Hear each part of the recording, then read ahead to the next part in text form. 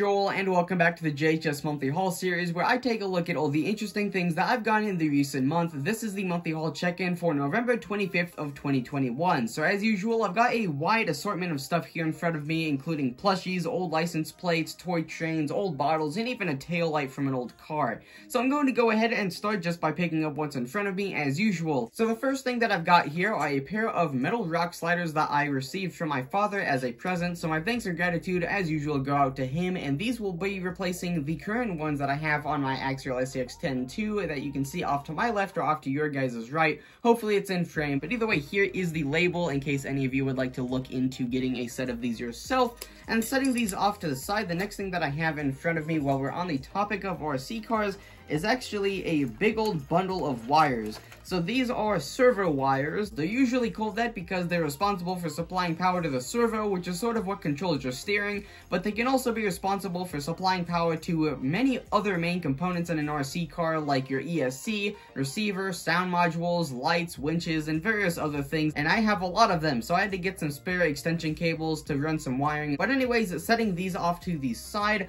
I believe I have some other car-related things here that are actually quite interesting. So I'm going to move one of the plushies to the side here. So a couple of the car-related things that I have in this little pile include some license plates that I'm going to be putting up in my YouTube shed when it is finished. So this first one comes from Kansas, and I believe this is a plate from 51 based on the number on it. I don't really know though. But either way, I got this because I found it really interesting that they used to punch out the shape of Kansas onto their plates. It also weighs quite a bit compared to normal modern plates that I've held. And then the other one that I've got here is a slightly older sort of sunset style California plate that was last registered in 1995, a year before my Jeep was manufactured, so that's pretty cool. But either way, setting those down, the other two things that I have here on top of the pile are some light switch covers. So the first one that I've got here has a red Corvette on it, and the other one that says Historic Route 66, which is pretty interesting. I'll be putting this one up in my room, and hopefully, eventually, I'll be able to put this one up in my shed whenever it's finished.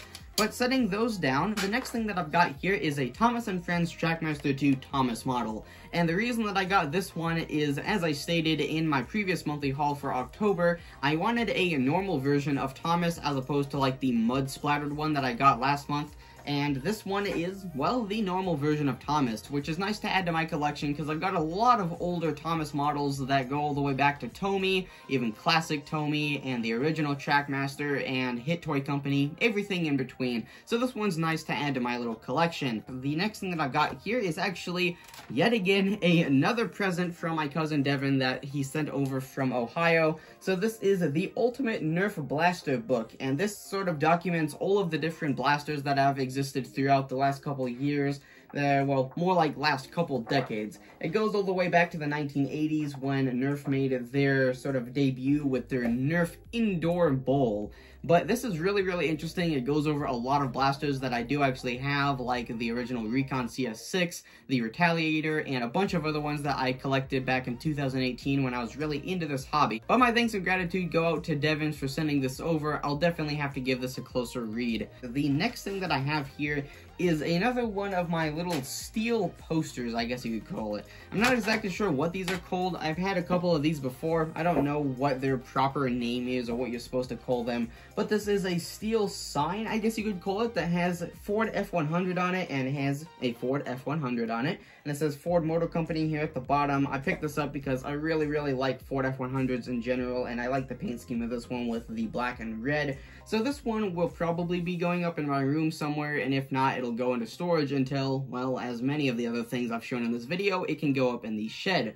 But anyways, setting that really, really cool Ford F-100 sign off to the side, just because I want to, let's move to some of the plushies real quick, take a break from the car stuff. So this first one that I've got here is a Chipflake plushie. And for those of you that might be unaware, Chipflake is a Storytime animation content creator here on the platform that makes really, really nice animation content that, in my opinion, is really enjoyable to watch. I've been watching him for a couple years now, and when I saw that he had a plushie, I was like, oh man, I've got to have that and he arrived, I want to say, a week or two ago, and, well, I'm very, very happy that I'll be able to add this guy to my little plushie collection. He's got his adorable little blue eyes, his mouth there with his brown spots, brown ear, brown tail, brown feet, his adorable red handkerchief. I mean, I think everything about the plushies are adorable.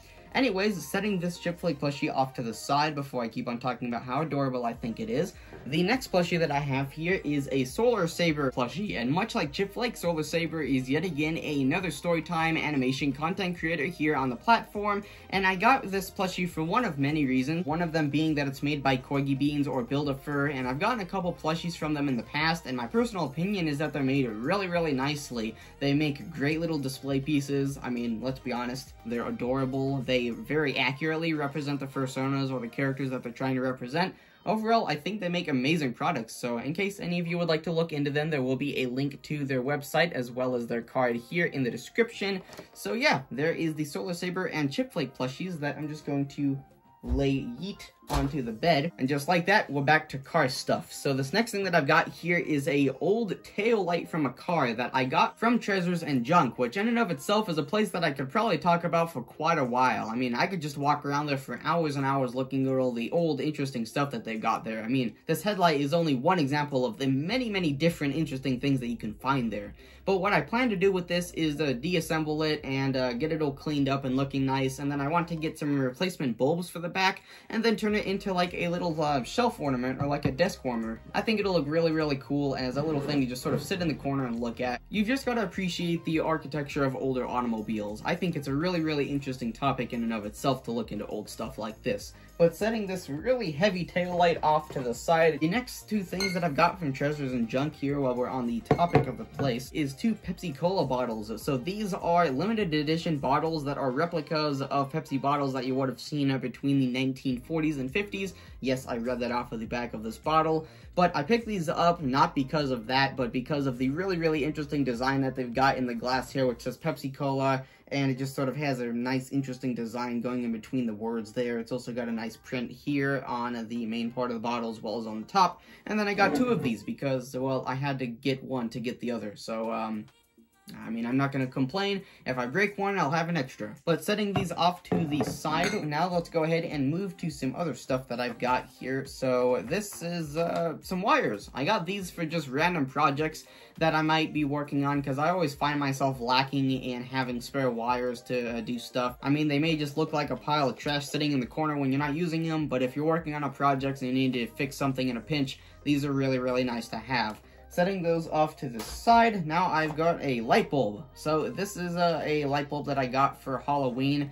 I was experimenting with doing some Halloween shoots with my RC car, which as some of you that may or may not follow me on my Instagram saw, it didn't go the best. But either way, now I've got this for next year, so maybe I can try it again next year and not fail as much. But setting the light bulb off to the side, well, um, I think we've got to address the fact that I've got a lot of Hot Wheels again. So, these Hot Wheels that I've got here came from a couple different locations, like Pegasus, which is a hobby shop that I really like going to that's here in California. They've got a lot of amazing new stock from RC cars, RC planes, uh, model trains, Hot Wheels, uh, models in general. They got some really, really cool stuff there. I definitely recommend checking them out if you're around um, Ontario, California. So the first two that I've got here are some Hot Wheels from the Art Cars series. So the one here on the top is a 80 El Camino, and the one on the bottom is a Road Bandit. So I got these, well, because as you can see, they're very, very colorful, and my friend Deegan has a El Camino himself, so I picked this up for him.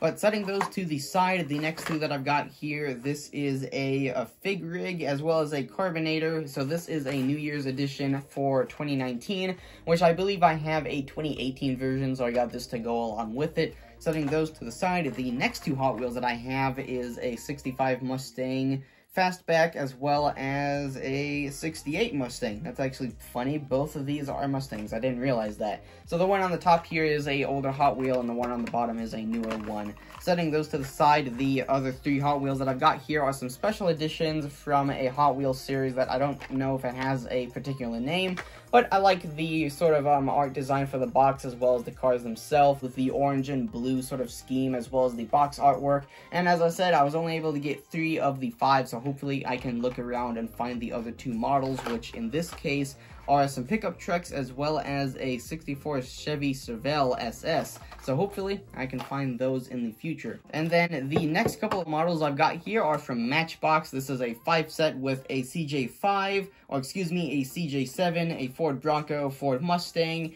a Fiat Mini, as well as a Jet Fighter. So these ones I already opened up because I really wanted to look at the CJ7. My stepfather's got a YJ, which is sort of similar, so I wanted to take a look at that. And speaking of, my stepfather was actually the one that got these for me, so my thanks and gratitude, of course, go out to him as usual. So the next thing that I've got here is some stuff from the How Ridiculous YouTube channel. And to explain what they do here on YouTube, it quite literally is as simple as saying they drop stuff, they break stuff, and they have a lot of fun. I mean, I enjoy watching their content, like when I'm down, I could just click on one of their videos and it'll lighten up my mood almost immediately. But this one has Rexy, which is sort of like the mascot character. And then on the front here, it just has a nice sort of little rainbow effect, how ridiculous logo.